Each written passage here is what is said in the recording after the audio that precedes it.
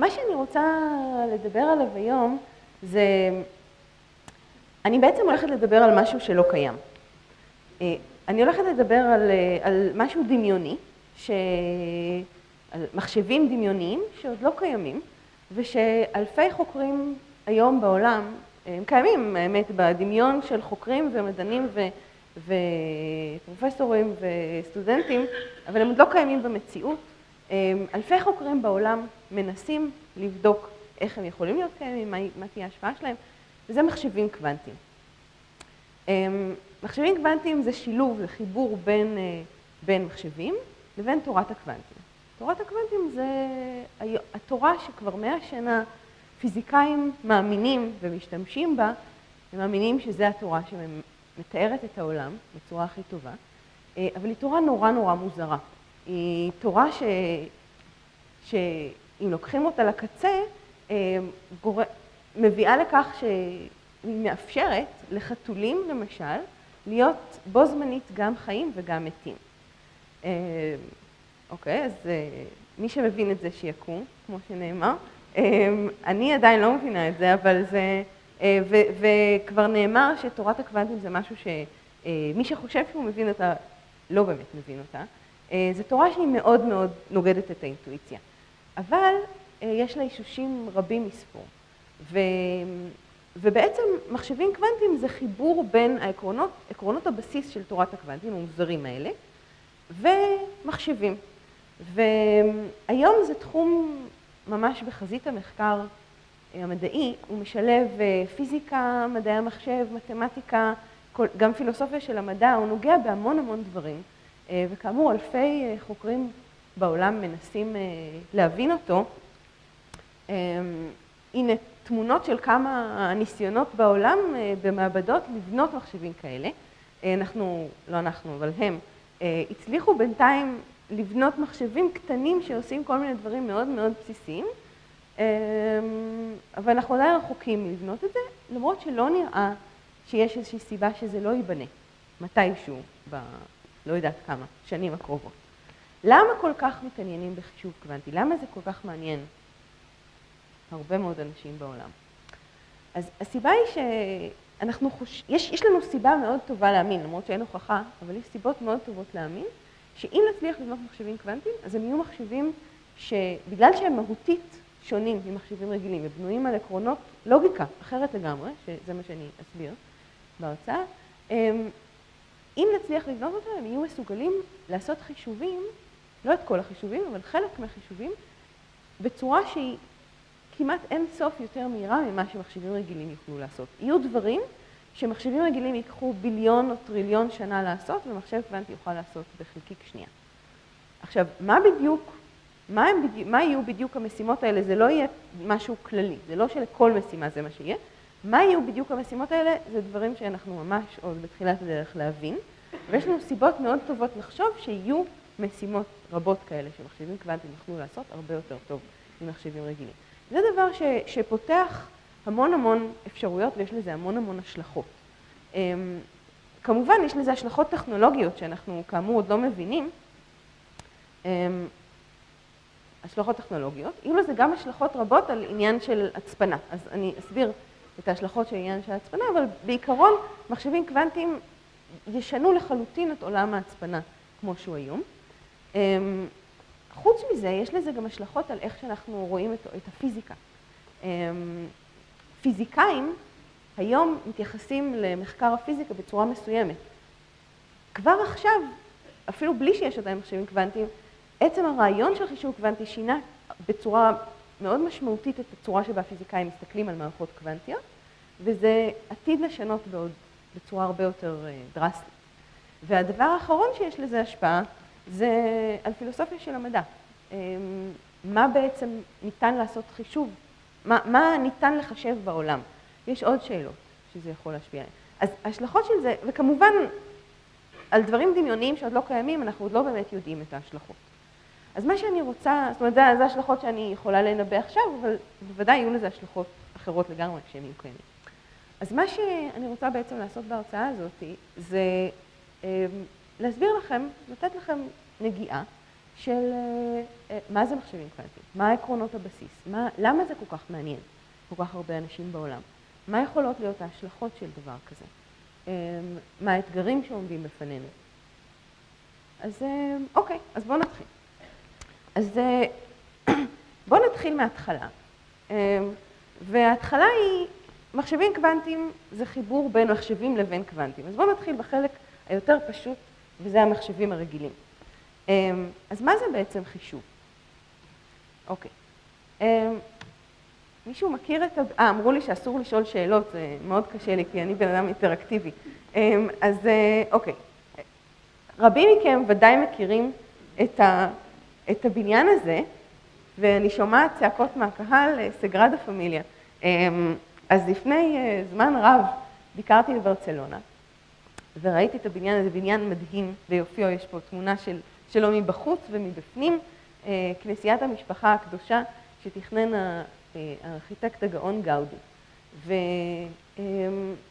וזה בניין באמת מקסים, שנראה כמו ארמון חול, עם מלא מלא מגדלים כאלה, שכל אחד יושב אחד על השני, רואים פה רק פרטים מאוד ספציפיים, קשה לתפוס את כל היופי של הבניין הזה בתמונה, אבל זה ממש נראה כמו ארמון חול עם המון המון קשתות שיושבות אחת על השנייה.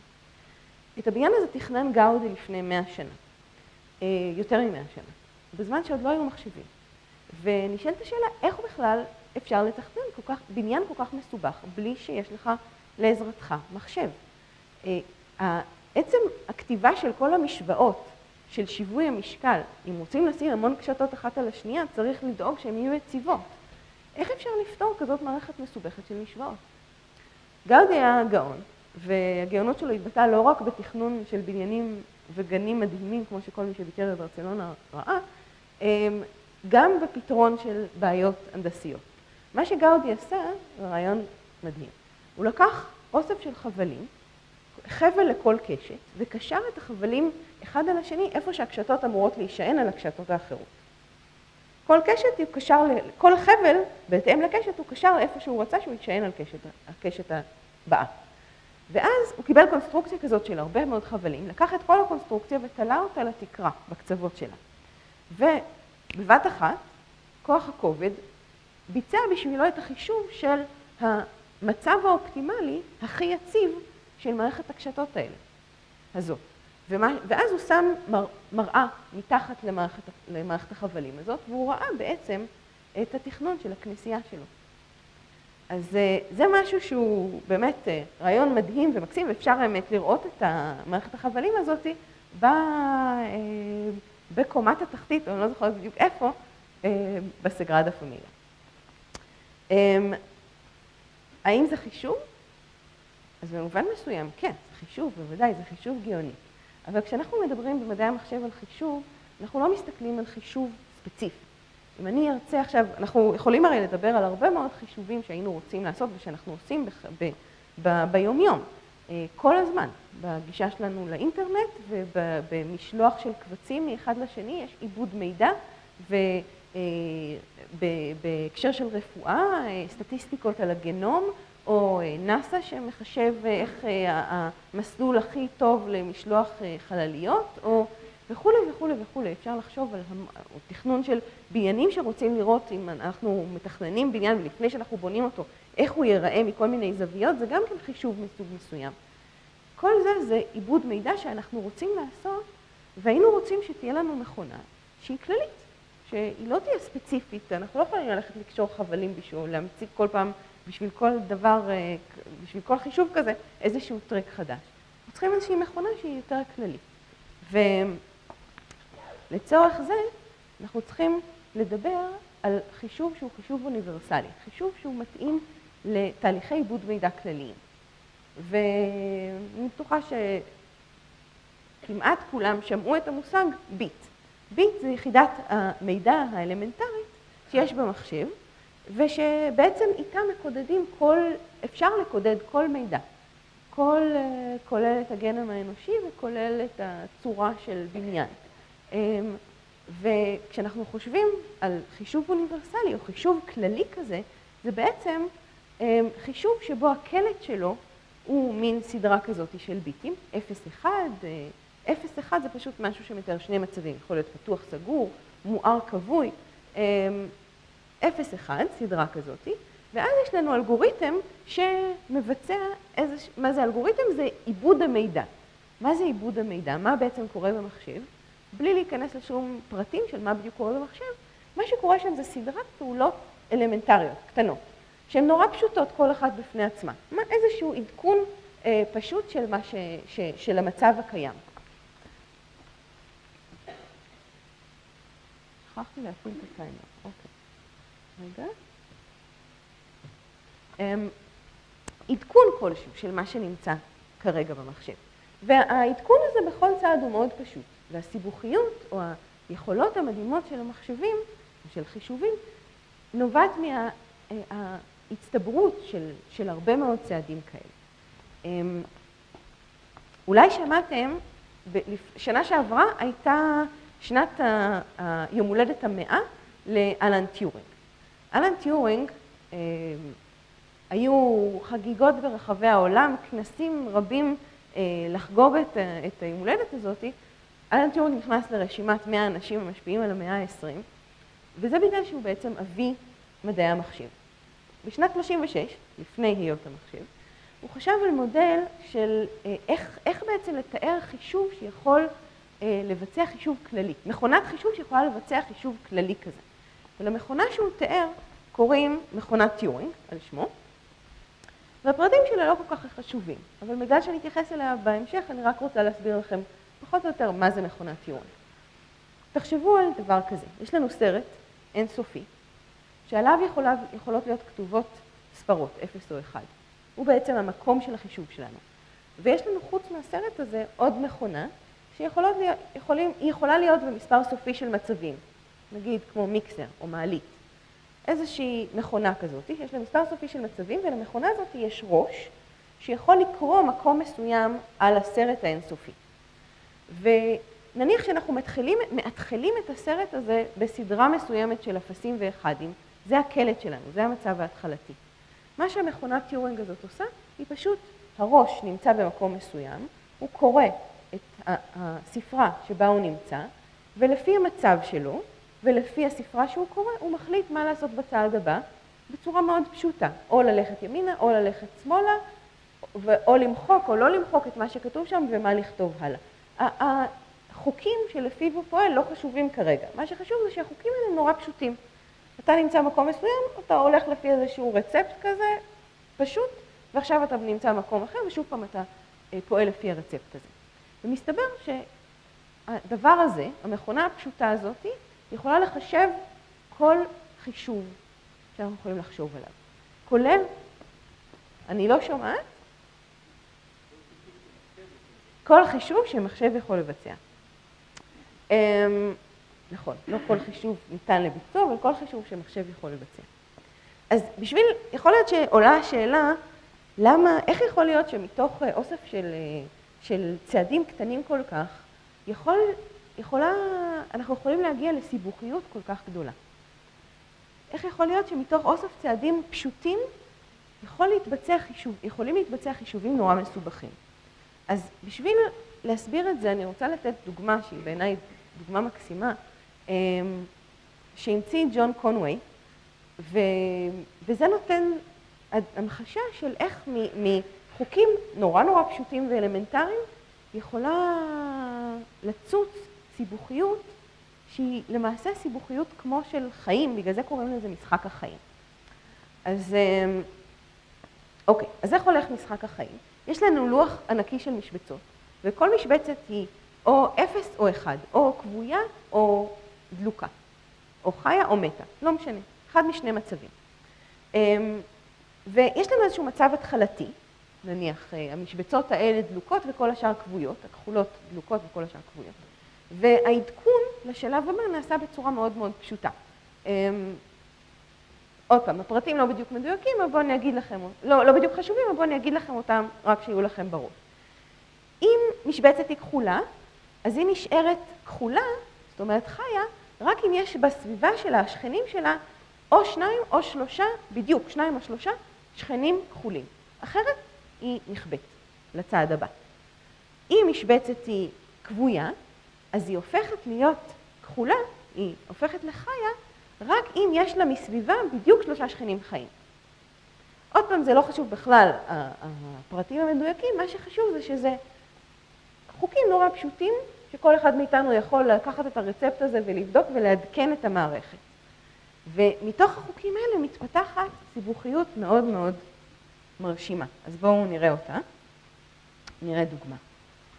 אמ, אז מה שאני הולכת להראות זה פשוט כל מיני מצבי התחלה שמפעילים עליהם את, ה, את, ה, אה, את החוקים האלה, ותראו לאן החוקים האלה יכולים להוביל מצבי התחלה שונים. אז הנה, מצב התחלה אחד, או הוא עושה מין כזה אוסילציות. הנה מצב התחלה שגור... שבגלל החוקים גורם לאיזה מין חיה כזאת להתקדם בכיוון מסוים. והנה מצב התחלה שיורה, כאילו מוליד חיות כאלה, עוד ועוד ועוד חיות. הנה משהו שנראה כמו לב פועם, אמ, מאוד פרימיטיבי. הנה משהו שנראה קצת כמו עץ שצומח. אמ, אוקיי. אז אז העקרונות האלה של, אז זה, זה מדגים איך מתוך, אני דרך אגב ממליצה לכם, אם אתם לא מכירים את הדבר הזה, להיכנס לאינטרנט ויש שם סרטונים מדהימים של איזה דברים מדהימים אפשר להשיג מה, מהחוקים הפשוטים האלה עם תנאי התחלה שונים. אמ, אל, העקרונות האלה, העקרונות של, של להתחיל מאוסף של ביטים, 0 או 1, ולעדכן אותם בצורה לוקאלית, מקומית, אה, עם חוקים מאוד אלמנטריים ופשוטים, אלה בעצם העקרונות שהם משותפים לכל המחשבים, כל מודל, מודלי החישוב שאנחנו יכולים לחשוב עליהם היום. אמ, העובדה שכל העקרונות, ש, שכל המודל, מודלי החישוב שאנחנו מכירים היום, בעצם יש להם עיקרון אחד בבסיס שלהם, אמ, זה אבן יסוד בתיאוריה של מדעי המחשב. אמ, למה זה כל כך, אז, אז מהי אבן היסוד הזאת? אפשר להגיד אותה בצורה של מכונת טיורינג, יכולה לחקות ביעילות כל מודל חישוב פיזיקלי סביר. מה זה אומר? זה אומר שבעצם עקרונות הבסיס של כל מודל חישוב הם דומים. אין הבדלים מאוד גדולים. סך הכל הם עובדים אותו דבר. אמנם יש, אה, יוצא מחשב חדש עם מעבד חדש, אז הוא פועל פי שתיים יותר מהר, אבל סך הכל העקרונות אותו דבר. וזה נכון גם למחשבים, גם למודל חישוב כמו משחק החיים, שיכול לצאת ממנו סיבוכיות מדהימה כמו שראינו, וזה נכון למחשבים שבנויים, מושתתים על DNA, אם שמעתם על, על מודל חישוב שמשתמש במולקולות של DNA, וזה נכון גם למחשבים שאנחנו משתמשים בהם על השולחן שלנו. אבל זה לא נכון לחישוב קוונטי. חישוב קוונטי מתבסס על עקרונות שונים לחלוטין, על לוגיקה שונה לחלוטין. ו, וכש, ו, וזה בעצם מה שאני רוצה להסביר לכם. בחלק הבא של ההרצאה. אני רוצה להסביר לכם מהם העקרונות שהם כל כך שונים בחישוב קוונטי. טוב, אז בשביל להסביר את זה אני צריכה קצת לגעת במה זה פיזיקת הקוונטי. אז כמו שאמרתי,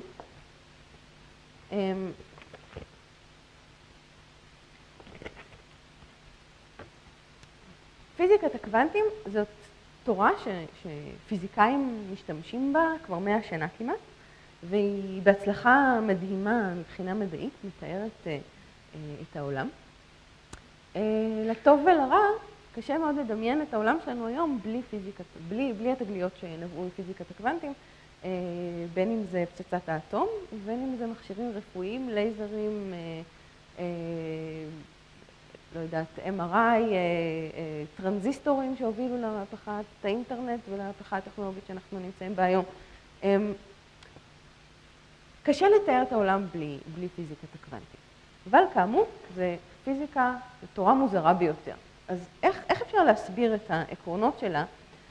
אה, זה קשה להסביר, אז בואו, אני אנסה לתת לכם עכשיו ניסוי שהוא ניסוי שיש לו שלושה חלקים, ושהשני החלקים הראשונים שלו הם משהו שיהיה מאוד אינטואיטיבי, והחלק האחרון יהיה פחות אינטואיטיבי, ובעזרתו ננסה למצות שני עקרונות בסיסיים של תורת הקוונטים, שהם העקרונות שעליהם מתבסס המחשב הקוונטי. אוקיי, אז מה הניסוי? החלק הראשון של הניסוי הוא מאוד פשוט. תדמיינו אה, תותח שיורה כדורים, והכדורים האלה נורים דרך, אה, דרך קיר שיש בו שני סדקים. ומול הקיר הזה עם שני הסדקים יש עוד משהו, איזשהו מונה, שמונה את הכדורים שפוגעים בכל נקודה בקיר, אוקיי? ועכשיו מריצים את הניסוי הזה עם תותח הכדורים בכמה ורסיות. ורסיה אחת זה שסדק אחד סגור והסדק השני פתוח. כשזה סדק אחד סגור והשני פתוח, אז ברור שרוב הכדורים יתמקמו מול הסדק הפתוח, ותהיה מין עקומת פעמון כזאת שהמרכז שלה מול הסדק הפתוח. כשהסדק השני פתוח, הפעמון יוזז והמרכז שלו יהיה מול הסדק הפתוח השני. מה קורה כשפותחים את שני הסדקים?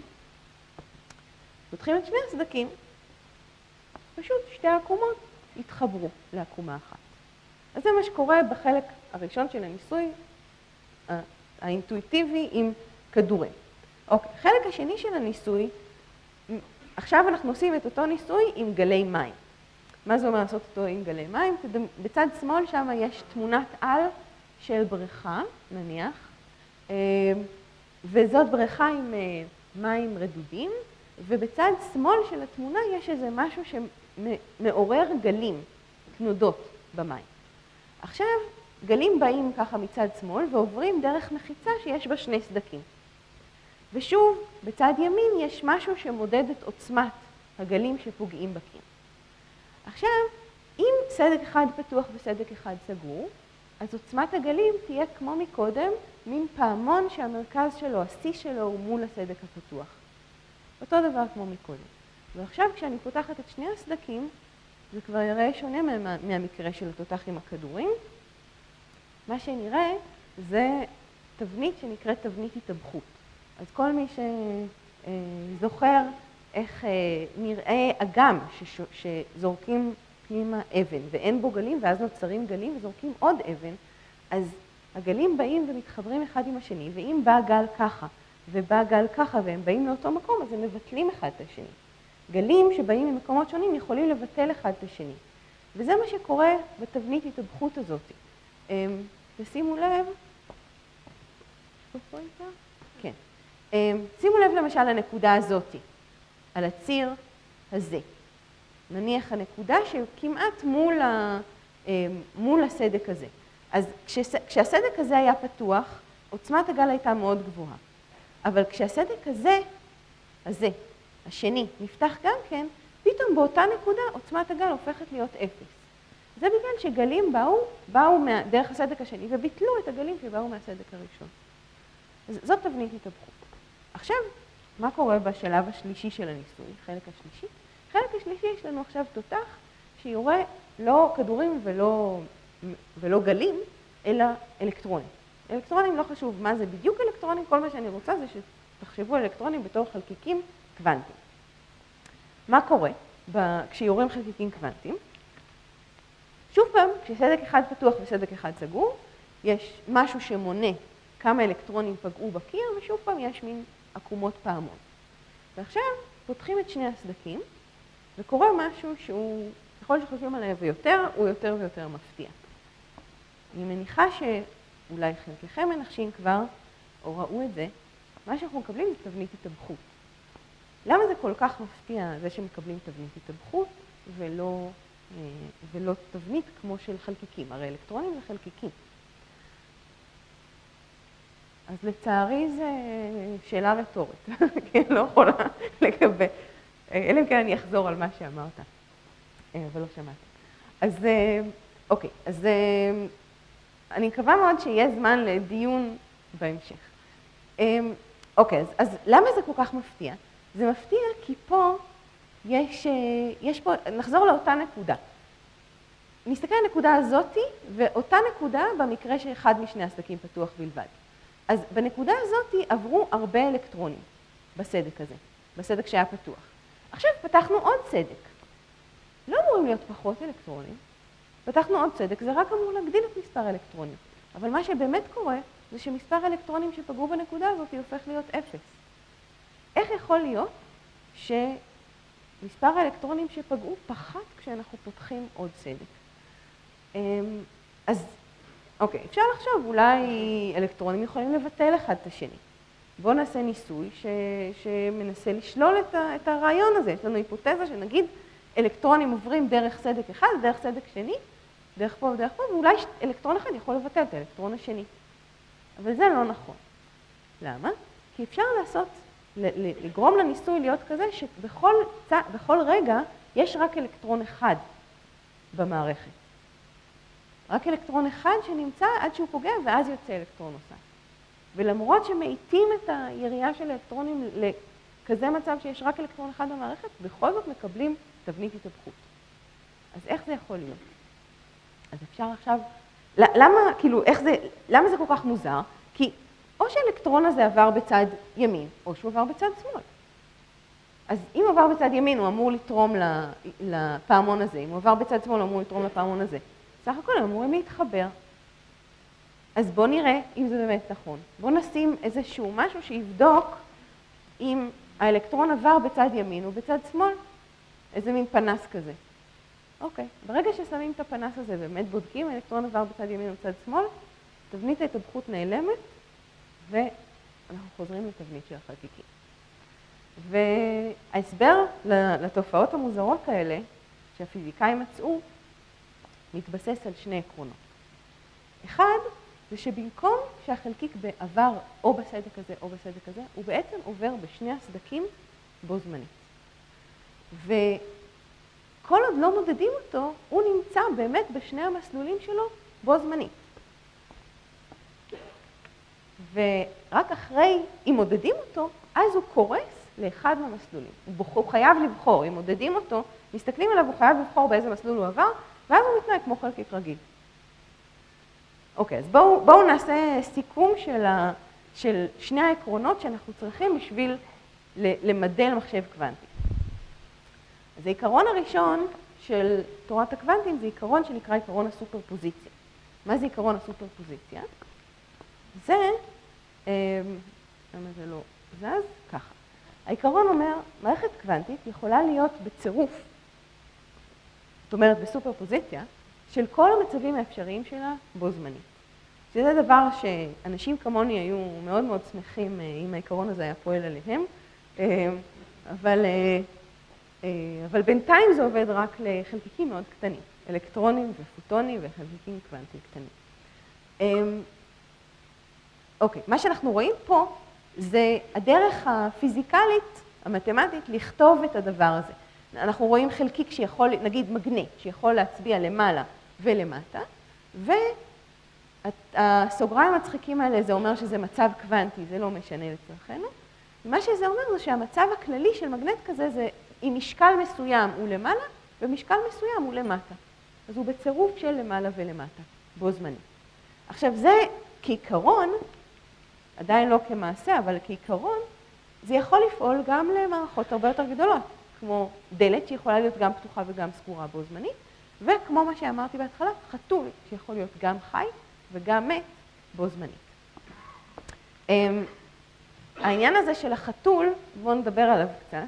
אמ, זה שרדינגר. שרדינגר הוא מאבות תורת הקוונטים, והוא בשנת 35, שזה שנה לפני, דרך אגב, ההמצאה של טיורינג, של מכונת טיורינג, אה, שנעשתה בנפרד לחלוטין, בשנת 35 הוא אמר, זה היה בתחילת הדרך של פיזיקת הקוונטים, אה, לא יודעת, 10-15 שנה לתוך פיזיקת הקוונטים, הרבה, הייתה, היו הרבה מאוד ויכוחים והרבה מאוד אה, אה, חוסר, חוסר הסכמה עם העקרונות המוזרים האלה, ומה ששרדינג אמר זה פחות או יותר, תראו, מה שאתם אומרים זה נשמע ממש מוזר, אה, כי זה מוביל למצב שבו באמת חתולים יכולים להיות גם חיים וגם מתים בו זמנית.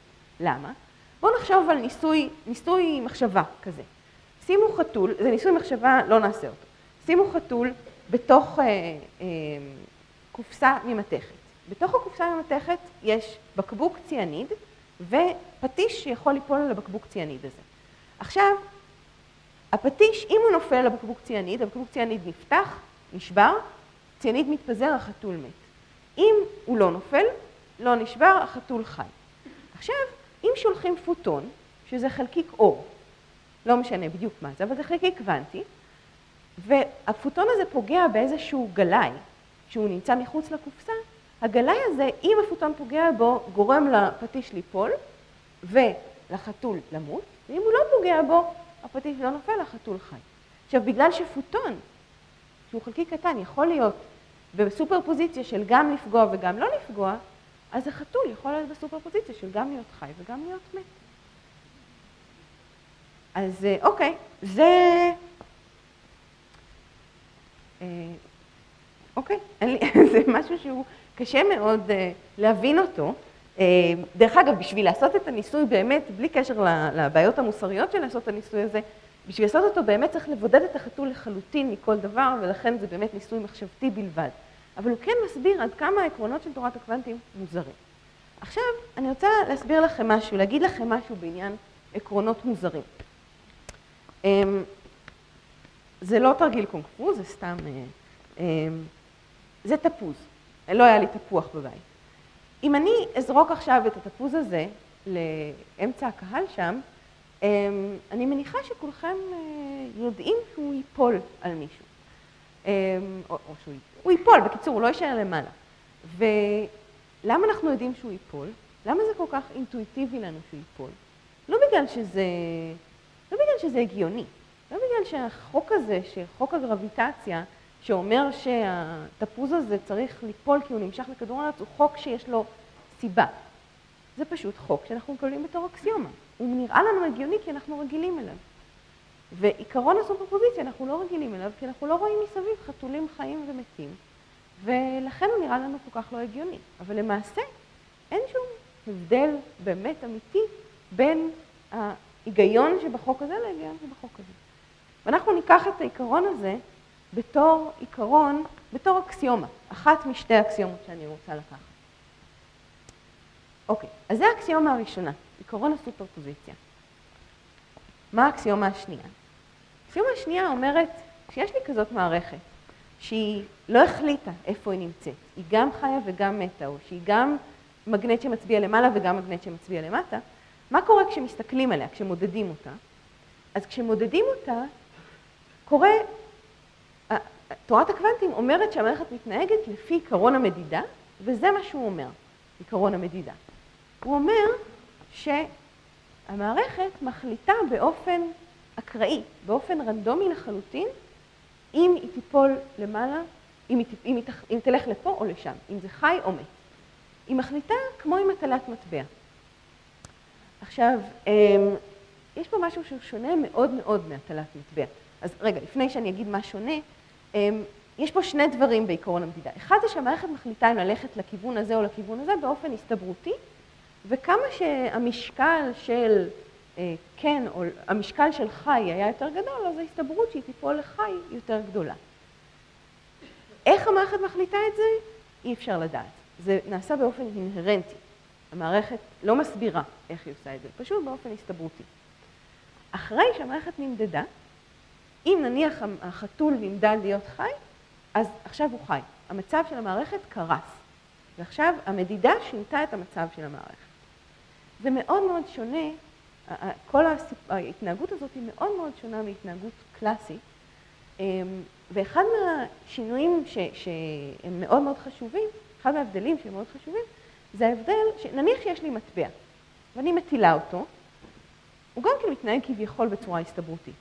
אבל אם אני אדע את כל התנאי ההתחלה של מה קורה, בדיוק את מהירות הזריקה שלי ואת הכיוון שזרקתי ובדיוק את כל התנאים ההתחלתיים, אני אדע לאן המטבע ייפול. אין פה שום דבר הסתברותי, יש פשוט חוסר ידע. בקוונטים זה שונה לחלוטין. בקוונטים אני לא יכולה לדעת, כי המערכת בעצמה לא יודעת, היא לא החליטה. המערכת בעצמה נמצאת בסופר פוזיציה של כל האפשרויות. זה לא שהמערכת נמצאת באחת מהן ואני פשוט לא יודעת. אז זה באופן אינהרנטי לא ידוע כל עוד אני לא מודדת. וזה משהו שהוציא את איינשטיין מדעתו.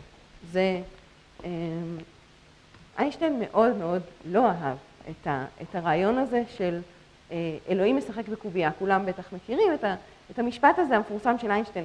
לא יכול להיות שאלוהים משחק בקובייה. ויש אה, ויכוח ידוע בינו לבין, אה, לבין בור, שאמר, אה, אתה לא יכול להגיד לאלוהים מה לעשות. וכנראה שלפי כל הידוע לנו, איינשטיין טעה פה. ואנחנו לא יודעים להסביר את התופעות שאנחנו רואים מסביבנו אלא אם כן באמת הדברים רנדומיים באופן אינהרנטי. זאת אומרת, אי אפשר, אין במערכת מציאות עד שאנחנו לא מנסים ממש למדוד אותה. זה דבר נורא נורא מוזר.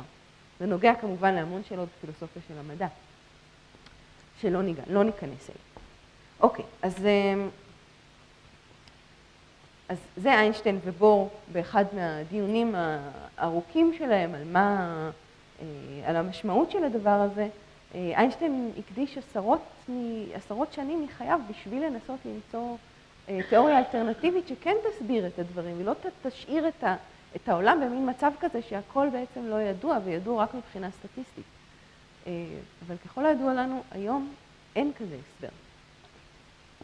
אוקיי, אז זה העיקרון השני, עיקרון המדידה, וזאת האקסיומה השנייה שלנו. יש לנו אקסיומת הסופר פוזיציה ועיקרון המדידה. אוקיי, אז איך זה קשור למחשבים? מה, איך אני לוקחת את העקרונות האלה ובונה מהם מחשב? טוב, אז אמ, בשביל לבנות מחשב קוונטי, אני צריכה להתחיל מיחידת המידע, אה, מיחידת מידע אלמנטרית, שאנחנו נקרא לה קיוביט. קיוביט בשביל קוונטום ביט, ביט קוונטי. מה ההבדל בין ביט קוונטי לביט קלאסי, או מה זה ביט קוונטי? אמ, אז הביט הקוונטי שלנו יהיה בדיוק כמו, כמו ביט קלאסי, יכול להיות במצב 0 ו-1 או בשני מצבים, אבל עכשיו אנחנו נאפשר לו, מתוקף זה שהוא חלקי קוונטי, להיות בסופר פוזיציה של 0 ו-1. וזה בעצם כל ההבדל. אוקיי? זה, זה ביט קוונטי, הוא פשוט יכול להיות בצירוף של 0 ו-1. איך, איך תחשבו על זה? אמ, נניח שיש לנו, תחשבו על המצבים 0 ו-1 כאילו הם חיצים במישור. זה 0 וזה 1. אמ, והמצב המעורב של 0 ופלוס 1 הוא איזשהו חץ בכיוון כללי. אוקיי? זה דרך אחת לחשוב על הדברים. וכשמודדים, החץ הזה, בכיוון הכללי, פשוט נופל לאחד מהכיוונים האפשריים שלו. ואז הוא נופל ונשאר שם. והוא עושה את זה בצורה הסתברותית, לפי כמה שהוא, ככל שהוא יותר קרוב לכיוון אחד, אז יש לו יותר סיכוי ליפול לכיוון הזה. אז זה ביט קוונטי. אוקיי. טוב, אז מה זה מחשבים קוונטיים? אז מחשבים קוונטיים זה... רגע. מחשבים קוונטיים זה פשוט אותו דבר כמו מחשבים רגילים, רק שמשתמשים בביטים קוונטיים. מתחילים את המחשב עם איזשהו, המחשב יהיה בנוי מהרבה ביטים קוונטיים, למשל אלקטרונים או פוטונים, שכל אחד מהם יכול להיות במין סופר פוזיציה כזאת של 0 ו-1, ו, אמ, ואני אתחיל את המחשב במצב התחלתי שכל חלקיק כן יודע איפה הוא, או 0 או 1, מצב שיתאר את הקלט שלי. ואז אני אתן למחשב אה, לחשב בצורה שאנחנו לא נסביר פה. זה קצת יותר מסובך, יותר מדי מסובך, אבל בעיקרון זה, זה אוסף של חיש, צעדים אלמנטריים, אבל שמאפשר לאוסף הקיוביטים האלה להיות באיזה מין, אה, במרחב שהם יכולים להיות בו, זאת אומרת בסופר פוזיציה. ואז אחרי שהמצב של כל הקיוביטים האלה יזוז וישתנה, אני אמדוד אותו, והתוצאה של המדידה תהיה תוצאת החישוב. זה מחשב קוונטי. עכשיו, אמ, תשימו לב, המחשב הקוונטי זו תוצאה שלו הסתברותית, היא לא תוצאה אה, שאני מקבלת בצורה בטוחה, נכונה. אבל אה, אנחנו נדאג לזה שהחישובים שלנו יהיו כאלה שאם יתקבלו, התוצאה הנכונה תתקבל בהסתברות מאוד מאוד טובה, מאוד קרובה לאחד. אז זה מחשב קוונטי.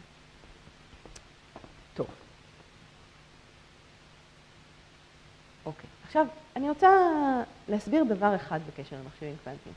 כי זה בעצם, אם יש דבר אחד שאתם, דבר אחד מדעי שאתם רוצים לקחת מתוך ההרצאה הזאת, הוא יושב בשקף הזה. אמ, וזאת הסיבה ללמה יש הבדל מהותי בין הכוח החישובי של מחשבים קלאסיים לכוח החישובי של מחשבים קוונטיים. אז בואו נראה איך אנחנו מפעילים את העקרונות האלה של סופר פוזיציה ועקרון המדידה על מחשב קוונטי שיש בו הרבה חלקיקים. נניח, לפי עקרון הסופר פוזיציה, אם יש לי חלקיק אחד שיכול להיות במצב 0, 0 ו-1 או up ו-down, אז הקיוביט יכול להיות בסופר פוזיציה של 0 ו-1. אם יש לי שני חלקיקים, אז, הקיוב, אז שני הקיוביטים האלה יכולים להיות בסופר פוזיציה של כל המצבים האפשריים שלהם. כמה מצבים אפשריים יש לשני חלקיקים קוונטיים? שניים כפול שתיים, ארבע. up, up, down, up, up, down ו-down, down. כל הקונפיגורציות האפשריות. עכשיו אני מוסיפה עוד חלקיק. כל פעם שאני מוסיפה חלקיק זה מכפיל את מספר האפשרויות שלי פי שתיים. כל חלקיק יש לו שתי אפשרויות, אז נגיד שלושה חלקיקים יכולים להיות ב-up, up, up, up, down, up וכולי, שמונה אפשרויות. 500 חלקיקים, שזה מספר מאוד קטן של חלקיקים. בטיפה של מים יש הרבה הרבה הרבה יותר חלקיקים מספר מ-500. 500 חלקיקים יכולים בעצם להיות, לפי עקרון הסופרפוזיציה, בסופרפוזיציה של 2 בחזקת 500 מצבים. עכשיו רק בשביל לסבר את האוזן, מה זה 2 בחזקת 500? 2 בחזקת 500 זה מספר שהוא יותר גדול מהמספר המוערך של חלקיקים ביקום. אין, זה מספר שהוא דמיוני לחלוטין. עכשיו, זה אומר שמערכת נורא נורא קטנה, קוונטית, מתוארת במימד שהמרחב, המימד שלו, הגודל שלו הוא פחות או יותר אינסופי. זה, אני לא יודעת אה, איך להגיד את המילה הזאת בעברית, mind boggling. זה מסחרר. אמ, בלתי נתפס, תודה. אמ, זה נורא נורא קשה להבין את זה, כי איך, איך, איך הטבע מעדכן כל כך הרבה מידע בצורה כל כך כל כך יעילה? זה הבדל מאוד מאוד מהותי בין מערכת קלאסית למערכת קוונטית. מערכת קלאסית, אם יש לנו 500 חלקיקים, אנחנו בסך הכל צריכים לדעת מה המצב של החלקיק הראשון, 0 או 1, מצב של חלקיק שני, 0 או 1 וכולי, יש לנו 500 מספרים. מערכת קוונטית שיש לה 500 חלקיקים, בשביל לתאר אותה אנחנו צריכים מקום וזמן שגדלים בצורה שאין לנו פשוט בעולם.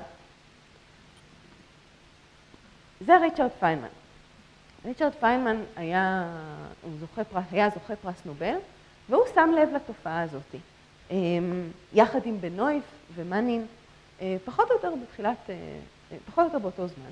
מה שהוא אמר זה ככה, אמ, יש לנו מערכת קוונטית שמספר החלקיקים בה הוא, הוא n, 500 או יותר, אמ, זה אומר שיהיה לנו נורא נורא קשה לתאר את המצב שלה.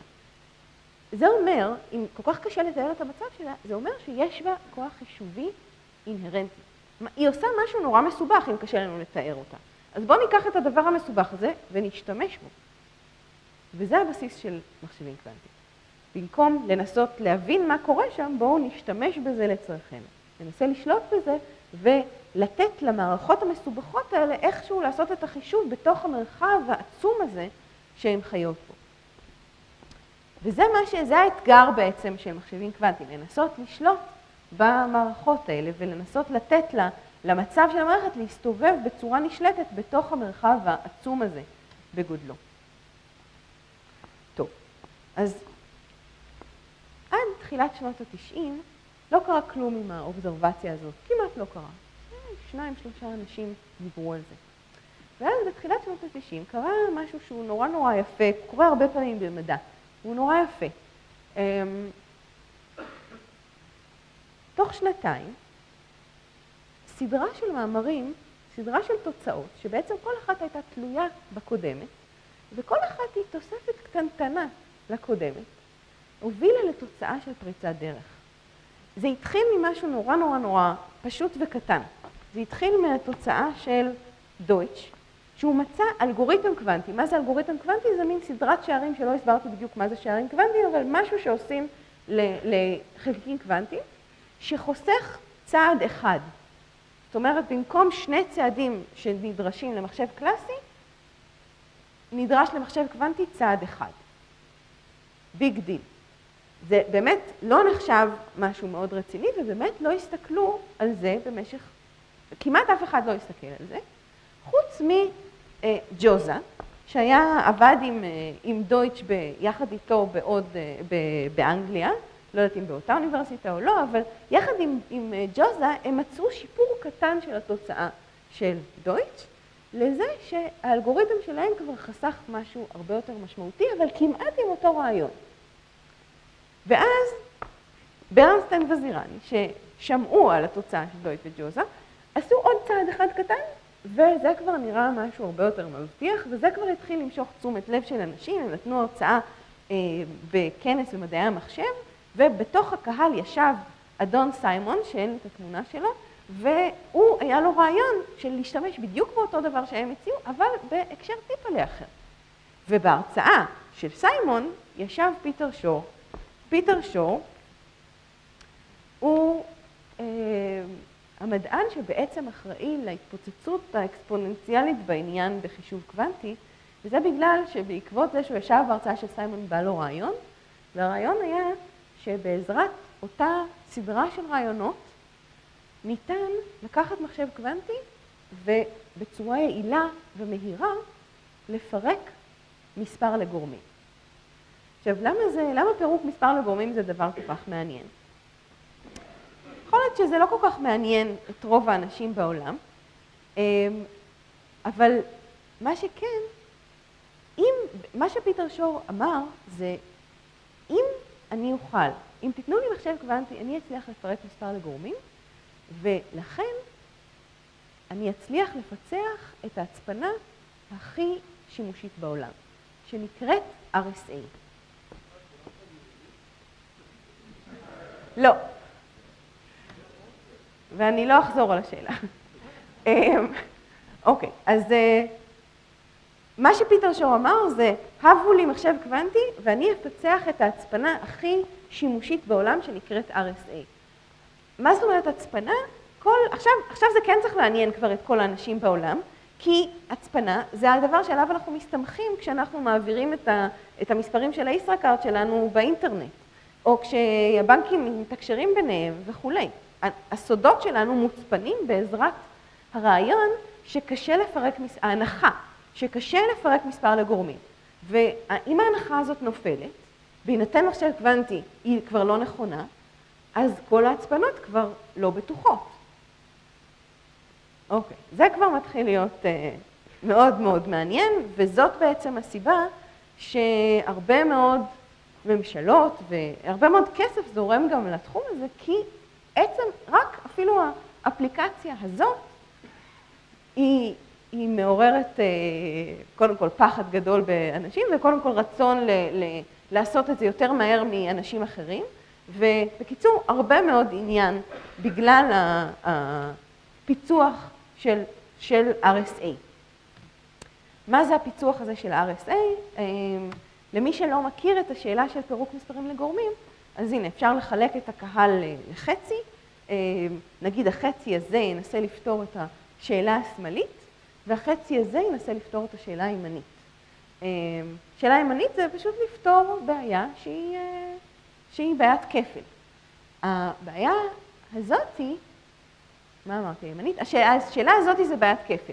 השאלה הזאת, תמצאו שני מספרים שלמים, שכשמכפילים, והם לא אחד, אף אחד מהם, שונה, כל אחד מהם שונה מאחד, ככה שאם מכפילים אותם, הם נותנים 1961.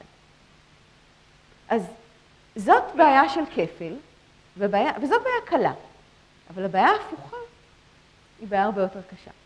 כי בשביל למצוא את הפתרון, אנחנו צריכים בעצם, זה נראה כאילו אנחנו צריכים לעבור על כל האפשרויות ולבדוק אותן. אז אולי ב-1961 זה נראה סביר לעבור על כל האפשרויות, אבל אם המספר שלנו עכשיו הולך להיות מספר עם 30 ספרות, זה כבר נהיה בלתי אפשרי. ומה שפיטר שור אמר, זה הוא יודע איך לפתור את הבעיה הזאתי, הימנית. אם ייתנו לו מחשב קוונטי. אז הנה התשובה למי שהיה סקרן. ו, אמ, וזהו, זה מה, שב, זה מה שפיטר שור ב-1994 עשה, וזה יצר רעידת אדמה בקשר למה שאנחנו חושבים שניתן לעשות בעולם. כי עד עכשיו, בחישוב, כי עד עכשיו חשבו שהבעיה הזאת בלתי נגישה למחשבים רגילים. אוקיי, אז קודם כל איך זה עובד, רק בשביל שתראו את הרעיון המאוד מאוד אבסטרקטי, לא, בלי להיכנס לפרטים. זוכרים את העניין של, של ניסוי שני הסדקים? אז ניסוי שני הסדקים אפשר לאלקטרון להיות בסופר פוזיציה של שני המסלולים האפשריים. עכשיו, במחשב קוונטי, במקום שני מסלולים אפשריים, יש לנו 2 בחזקת 500 מסלולים אפשריים. אז עכשיו בעצם אנחנו עושים את ניסוי שני הסדקים, אבל על מספר עצום ענקי של סדקים ומסלולים. החישוב שלנו, אפשר להסתכל על המסלול הזה בתור ההתפתחות של המצב של המערכת.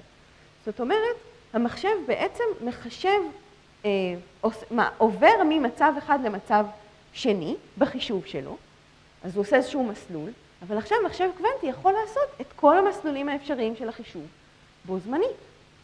זאת אומרת, יש לנו פה מקביליות אקספוננציאלית, וכל המסלולים האלה יכולים לדבר אחד עם השני.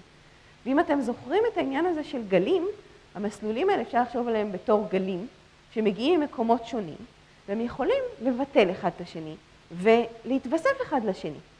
אז אם אנחנו יכולים לתכנן את החישוב הקוונטי שלנו בצורה חכמה, ככה שהתשובות שלנו, התשובות הנכונות, יקבלו התאבכות בונה, והגלים יתווספו אחד לשני, ואילו התשובות הלא נכונות יבטלו אחת את השנייה, הגלים שיגיעו אליהם יבטלו אחת את השנייה, אז כשנמדוד, תהיה לנו הסתברות גדולה למדוד את התשובות הנכונות. וזה, זה כמובן בצורה מאוד מאוד אה, לנפנף בידיים, אבל זה הרעיון שיושב בבסיס של האלגוריתם של שור. אוקיי, אז, אה, אז כאן אולי אתם כבר זזים באי נוחות בכיסאכם ושואלים את עצמכם את השאלה הבאה: האם חישוב קוונטי זה עסק רק לקרימינלים? כי, אה, כי בעצם אה, בינתיים דיברתי רק על עניינים של פיצוח הצפנות ומלחמות בין, בין אנשים שרוצים לעשות רע אחד לשני, אם נשים את זה בצורה נאיבית. אז השאלה הזאת היא קודם כל שאלה לגיטימית, אני חושבת. אמ, אבל בשנים שעברו מאז הגילוי של האלגוריתם של שור, אנחנו גילינו עוד הרבה מאוד דברים שאפשר לעשות עם חישוב קוונטי, למרות שנראה כאילו אנחנו רק בקצה, רואים את קצה הקרחון, ואנחנו מאוד מאוד רחוקים מלהבין מה באמת אפשר לעשות עם חישוב קוונטי. אז יש כמה דברים שגילינו חוץ מאשר פירוק מספרים לגורמים ופיצוח הצפנות. אחד, אם יהיה לנו מחשב קוונטי, אנחנו נוכל בעצם לחזות כל דבר שמערכות קוונטיות יכולות לעשות. כי מחשב, מחשבים, אמנם מערכות קוונטיות הן קשות לחיזוי או קשות ל, לעיבוד מידע עם מחשבים קלאסיים, אבל אם יש לנו מחשב קוונטי, אז כבר אנחנו כן יכולים לעבוד איתם. אז הם יחליפו במובן מסוים הרבה מאוד מהעבודה של פיזיקאים היום. אמ, וזה יעזור גם לניבוי של מה קורה במערכות ביולוגיות, במערכות כימיות. אמ, יש גם סדרה של אלגוריתמים אחרים, חוץ מפיצוח, מפירוק מספרים לגורמים, שגם כן, אני לא אכנס לרשימה, היא נוגעת בכל מיני דברים, בהגעה מנקודה, מנקודה מסוימת בגרף לנקודה אחרת, בטופולוגיה, בכל מיני שאלות יותר מתמטיות ש, שלא ניכנס אליהן כרגע. אבל הדבר העיקרי שאני רוצה להגיד בשקף הזה, זה שזו השאלה, הדבר העיקרי זה הסימן שאלה. אנחנו לא יודעים. לא יודעים מה עוד באמת אפשר לעשות, אנחנו רק בהתחלה של זה. אוקיי, אז כאמור אמרתי שיש לזה השפעה על טכנולוגית, יש לזה השפעה על פיזיקה, כי לא, לא נכנסתי לעניין של ההשפעה על הפיזיקה, אבל, אמ, אבל אפשר כבר להבין שאם יש לנו מבט חישובי על מערכות פיזיקליות, זה נותן זווית ראייה מאוד שונה, וזה באמת גרם לשינוי של של הסתכלות של פיזיקאים על, אה, על, על, על מערכות פיזיקליות קוונטיות. גם לפילוסופיה לא נכנסתי, ואולי אה, נדבר על זה בדיון. מה שאני רוצה להקדיש את הכמה דקות האחרונות של, ה, של ההרצאה, זה לנושא של הצפנה.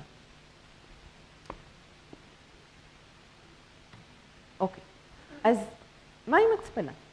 אפשר לשאול את עצמנו, מאחר שמחשבים קוונטיים בעצם גורמים ל, ל, לכך שכל ההצפנות שאנחנו משתמשים בהן היום כבר לא תהיינה בטוחות. אז האם עולם, האם עולם עם מחשבים קוונטיים זה עולם בלי סודות? זה עולם שאי אפשר להצפין בו כלום, שהכל בו פתוח. וכל הדבר יכול, כל אחד יכול בעצם לראות את כל הסודות של, של אדם. לא יודע, אפשר לחשוב על לאן זה יכול להוביל אותנו. אמ, אז התשובה היא לא. התשובה היא שזה לא צריך לדאוג, אפשר להישאר עם כמה סודות. אמ, קודם כל, משתי סיבות. קודם כל, אמ, בלי קשר לקוונטים, יש שיטה נורא נורא יפה שאני רוצה להראות לכם בסיום של ההרצאה, להצפנה שהיא בטוחה לחלוטין ולא צריך את ה-RSA ואת ההנחות. אה, ההנחות ש... שקשה לעשות פירוק מספרים לגורמים או שאין מחשב קוונטי. אז הנה איך תלך ההצפנה הזאת. דמיינו, דמיינו את אה, איינשטיין ובור, עוד פעם, יושבים ורוצים לדבר אחד עם השני מרחוק. והם רוצים להעביר מסר סודי. אמ, ועכשיו הכל קלאסי, עוד לא, הם לא מאמינים בקוונטים עדיין, הכל קלאסי לחלוטין. איך הם יכולים להעביר מסר סודי? ההצפנה שאני עכשיו מתארת נקראת one time pad. הם, לא חשוב השם כרגע. מה הם יעשו? הם יחלקו ביניהם מפתח. שהמפתח הזה זה פשוט מין דף כזה, שבו יש פיקסלים שהם או מוארים או לא מוארים. זאת אומרת 0-1. והדף הזה ייראה אקראי לחלוטין. הוא, הוא באמת יהיה אקראי לחלוטין. כל אחד יהיה לו עותק של הדף הזה בדיוק. בסדר? וזה הם נפגשים מראש ומחולקים ביניהם את הדף הזה לפני שהם יודעים בכלל את המסר. ואז, אה, לא יודעת, בור נוסע לו לאירופה ואיינשטיין נוסע לארצות הברית, ואין לי מושג איפה הם נמצאים. ועכשיו איינשטיין רוצה לשלוח לבור מסר, סודי. אז מה הוא יעשה? מה שאיינשטיין יעשה, הוא ייצר דף שנראה מאוד דומה, הוא רק נראה דומה, אבל הוא ייצר אותו על סמך הדף המקורי, המפתח נקרא לו, והדף החדש נקרא לו המסר. מה שבור צריך לעשות בשביל לקרוא את המסר של איינשטיין, זה לנסות לשים את, ה... את שני הדפים אחד על השני. עכשיו, אני בכוונה לא שמה אותם אחד על השני. אמ, בואו נראה קודם כל איך זה עובד. אז הנה זום לתוך ההצפנה. לתוך הדף הזה, לתוך המפתח נניח, ואנחנו רואים פה שאפשר לראות שכל, אם זום יותר חזק, כל ארבעה פיקסלים פה נראים ככה, והם או צבועים, הם צבועים באחת משתי צורות, או ככה או ככה, אוקיי? או ככה או ככה. ועכשיו, תדמיינו שני דפים כאלה, שאני שמה אותם אחד על השני. אם הדף השני שאני שמה נראה במקום הזה ככה, ואני שמה אותם אחד על השני, מה אני אקבל? ריבוע שחור לגמרי. אוקיי. לעומת זאת, אם אני מתחילה עם שני ריבועים שהם מסובבים באותה צורה, ואני שמה אותם אחד על השני, אני אקבל משהו שהוא חצי שחור, חצי לבן. אז מה שנעשה, מה שבור או מה שאיינשטיין יעשה, אם הוא רוצה לשלוח איזשהו מסר, הוא, יח, הוא יסתכל על הדף המקורי, על המפתח, ואיפה שהוא ירצה שיהיה כתוב שחור, אז הוא, ישלח, הוא יבחר את הכיוון ההפוך, ואיפה שהוא ירצה שיהיה כתוב לבן, הוא יבחר את הכיוון שהיה במקור. אוקיי. ואז כשבור ישים את זה אחד על השני, הוא יראה את מה שאיינשטיין מנסה לכתוב לו. וזה באמת מה שהם עושים. והנה, זה הרבה יותר מרשים אם באמת מביאים שקפים, כי אז רואים שאני לא עובדת עליכם, וזה באמת, כשעושים, מזיזים את זה קצת, אז מקבלים את זה. אוקיי, מה הבעיה בשיטה הזאת? הבעיה בשיטה הזאת שבשביל זה, אם איינשטיין ובור רוצים לדבר הרבה כמו שהם באמת דיברו, הם צריכים להיפגש ולהחליף ביניהם הרבה מאוד דפים כאלה, שנראים כמו אוסף של אה, דברים רנדומיים, הם באמת דברים רנדומיים. כי אי אפשר להשתמש בזה פעמיים, משתמשים בזה פעמיים, אפשר בקלות לראות ש... שאת התמונות אפשר לגלות. אה, אז כל אחד, אז בגלל זה קוראים לזה one time pad. אז הם צריכים להיפגש, לחלוק ביניהם ערימות ענקיות של דפים ורק אז להיפרד. אבל זה לא ככה, הצפנה לא עובדת ככה. אם אנחנו באמת מסתכלים על מה שאנחנו עושים עם הצפנות בין בנקים או בין ממשלות, כמובן שלא נפגשים וחולקים one time pads כאלה. אנחנו רוצים דרך להצפנה ככה ש, ששני המצפינים, שני הדוברים יוכלו לדבר ממרחק מראש, בלי להיפגש. אז הדרך לעשות את זה, מסתבר, זה בעזרת מה שקוונטים לקח, קוונטים גם יכול לתת. חלוקת המפתח תהיה קוונטית. זאת אומרת, יצ... במקום להיפגש ולחלוק את הדף הזה, הם יכולים בטלפון הקוונטי שלהם לדבר, ושהם ייצרו שני דפים שהם קופי אחד של השני, והם יהיו סודיים לחלוטין למרות שמישהו עומד ומקשיב. זאת אומרת, זה משהו מאוד לא הגיוני.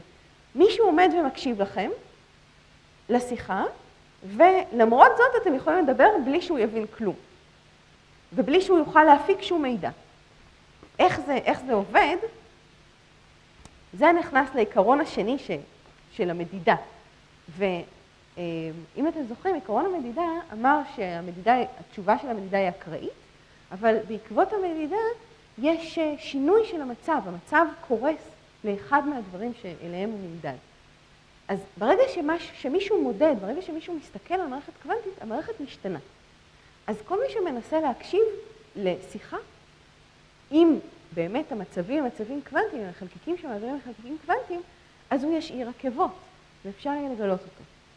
ועל זה מושתתת, מושתת הרעיון של חלוקת מפתח קוונטית, שמחלקים באמת חלקיקים קוונטיים, פוטונים או אלקטרונים, שהכיוונים שלהם הם כאלה כיוונים אקראיים, ואז אם מישהו מודד אותם, אפשר יהיה לראות ש, שהם נפלו, שהם השתנו, ואז הם יוכלו לדעת שהם באמת, מישהו האזין להם. טוב, אז, אה, אז לסיום, אני רק אדבר על משהו שהוא, אה, נראה לי שחייבת הייתה לעלות השאלה, מתי נראה מחשבים קוונטיים. אה, אז קודם כל, קריפטוגרפיה קוונטית, הצפנה קוונטית כבר קיימת. זה כבר משהו שניתן לעשות, וזה בגלל שה... ראיתם, אנחנו לא באמת צריכים דברים נורא מסובכים בשביל הצפנה, כמו שתיארתי, רק צריך, כל חלקיק קוונטי בפני עצמו, צריך לכוון אותו לכיוון כזה או אחר.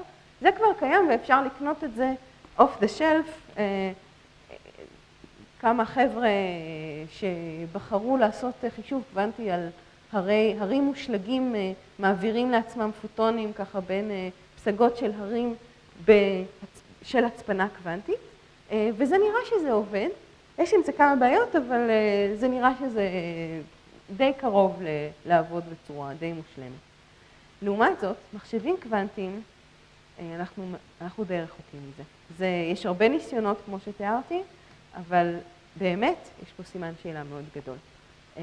לפני בערך 17 שנה אני התערבתי עם איזה מישהו שבעוד 20 שנה, זאת אומרת עוד שלוש שנים, יהיה מחשב קוונטי שיצליח לעשות פירוק מספרים לגורמים יותר מהר ממה שמחשבים קלאסיים יכולים לעשות. לצער... והתערבנו על חבית הבירה הכי גדולה שאפשר יהיה לקנות באותו זמן. לצערי, אני חושבת שהפסדתי, אבל, כלומר, יש לי עוד שלוש שנים, אבל לא נראה לי שאני הולכת לנצח. למזלי, הוא עזב את התחום, אז, אז אני מוגנת. ו... ואני חושבת שנסיים בזה ונפתח את הדיון לשאלות.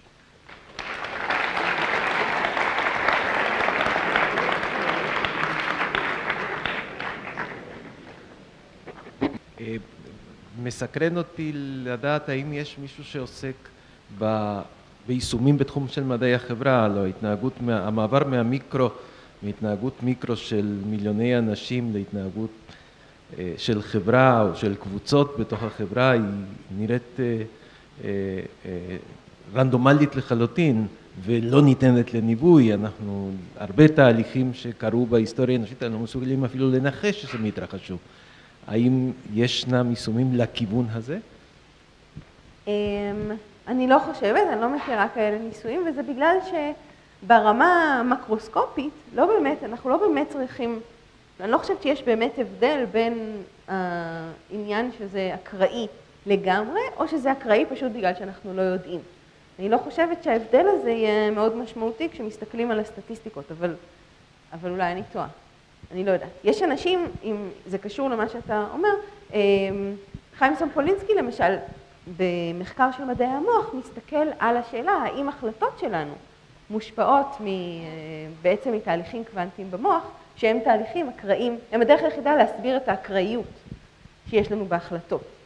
אז אולי זה קצת קשור למה שאתה אומר. סליחה. כן. כן. אם הבנתי נכון, יש כאן במחשב הקוונטי שני נושאים. יש שני נושאים. א', מזעור, וב', שיטת עבודה אחרת לגמרי. בנוגע למזעור זה נראה כאילו שרמה מולקולרית או רמה אטומית היא מספיקה למזעור ולא צריך להגיע ללוגיקה כאילו משוגעת של הקוונטים. אבל הבנתי שהקוונטים גם עובדים בצורה אחרת, כאילו הרבה יותר מהר או מקבילי או בשיטה אחרת. השיטה, השאלה היא גם האם אפשר לבנות מחשב כזה שיהיה מורכב למעשה מגלי אור, כי האור הוא, קוונטי. כן, אז שאלה מצוינת, אמ, ויש עבודות, אה, יש עבודות רבות על איך לבנות מחשב אה, בעזרת פוטונים, שזה חלקיקי אור, אה, איך לבנות מחשב קוונטי, ולמעשה אפילו באוניברסיטה העברית יש מעבדה שמנסה לעשות את הצעדים הראשונים של בניית מחשב בעזרת פוטונים. אמ, אז כן, והתשובה היא כן, אבל אנחנו, יש שם הרבה מאוד קשיים, כמו בכל כיוון אחר. אמ, אז זה אחד מהכיוונים שבאמת אנשים מנסים ללכת בהם. כן. אה, רציתי לשאול אמ, לגבי הבן אדם שזכה בפרס נובל נראה לי השנה, אני חושב שזה היה קשור ל... אה, בפיזיקה, זה היה קשור לחישובים קוונטיים. אמ, זה היה משהו שקשור לגילוי של פוטונים בלי, אה, מבלי לספור פוטונים מבלי לגלות אותם או לבלוע אותם או משהו כזה. אה, ורציתי לשאול אם, כאילו, אם תוכלי להתייחס לזה או משהו, או שזה לא קשור. לצערי אני לא יכולה להתייחס לזה כי אני לא יודעת על זה מספיק. השאלה הייתה להתייחס לפרס הנובל שניתן uh, השנה, um, ומה הקשר שלו למחשבים קוונטיים, ואני לא יכולה לענות על זה. אולי מישהו בקהל יכול לענות. כן. כן, רציתי, זו שאלה לשונית. רציתי לשאול, האם אפשר להחליף את המילה קורס במילה מתבהר? המצב מתבהר. Uh, אז זאת שאלה מצוינת. האם... Uh, האם אפשר להחליף את המילה קורס במילה מתבהר, כאילו בעצם כל השאלה זה רק האם אנחנו, העובדה שלא ידענו איפה, איפה זה נמצא, זה לא אומר שבאמת המצב משתנה, אלא אנחנו עכשיו יודעים יותר, יותר בהיר לנו מה המצב. זה בעצם מה שאתה מציע, נכון? אבל המילה מתבהר מצביעה על זה שאנחנו כאילו, זה היה שם מקודם, המצב, והוא רק פשוט מתבהר לנו. אז, אז התשובה שלילית, כי זה מחזיר אותנו לעולם הקלאסי, נכון. כן. יש לי שאלה, איך זה יכול לעזור ברפואה? איך זה יכול דבר? לעזור במה? לא שמעתי. בעניין של רפואה, לפתור בעיות, איך כאילו, של מחלות, איך זה יכול לעזור? אמ, אני לא יודעת, כי זה יכול לעזור בכמה כיוונים. אמ, אחד מהכיוונים שיכול אולי לעזור זה מדידות אה, מיקרוסקופיות בתוך, ה, בתוך הגוף. אה, יכול להיות שאפשר לעשות מערכות שמודדות יותר טוב בעזרת שיטות קוונטיות, של עיבוד מידע קוונטי. אה, אבל למעשה אני חושבת שאנחנו ממש עוד רחוקים מלהבין את ההשלכות של, של עיבוד מידע קוונטי עם, עם data, עם, עם data sets מאוד גדולים. שזה נראה לי הדבר שהכי זה יכול לעזור, אבל אנחנו לא יודעים לעשות את זה. יש יש אלגוריתם אחד שהוא מאוד מפורסם, של גרובר, שמאפשר בעזרת חיפוש, בעזרת חישוב קוונטי, למצוא אה, איבר מסוים באיזשהו אה, מאגר מידע, שהמציאה שלו תהיה הרבה הרבה יותר מהירה בעזרת אלגוריתם קוונטי מאשר בעזרת אלגוריתם קלאסי. אז חיפושים כאלה זה משהו שצריך לעשות גם בהקשרים רפואיים וגם בהקשרים אחרים. אז זה דבר אחד, אבל לדעתי אנחנו עוד אנחנו עוד נמצא דברים רבים אחרים.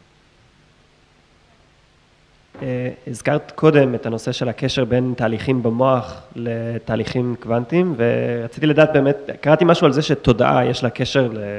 כאילו שהמוח הוא פועל בחישוב קוונטי ולא בהכרח דטרמיניסטי, אז אם יש משהו להגיד על זה. תראה, אמ, זה מאוד מפתה, כי מדעי המוח זה משהו מאוד אה, ככה חם, וחישוב קוונטי זה משהו חם, מאוד מפתה לחבר אותם. אני חושבת ש... אמ, שכרגע אין לזה בסיס, לחיבור הזה. אמ, אני חושבת שגם נעשו על זה מחקרים ובדקו שתופעות קוונטיות במוח, משך הזמן שבו הן יכולות, שלאורכו הן יכולות לחיות, הוא לא מספיק בשביל לפרש כל מיני תהליכים במוח. אז, אז זה נראה כאילו זה, אין לזה רגליים, אבל אני לא יכולה לשלול את זה, כי אנחנו לא מבינים לא את זה ולא את זה, אז זה יכול להיות.